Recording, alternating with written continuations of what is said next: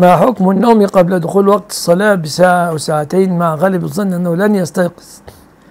ومع وضع المنبه هل يجوز؟ إن كان مغلوبا فينام لأنه حتى إذا صلى وهو غير في غير وعيه أو في إرهاق فقد يذهب يستغفر يسب نفسه.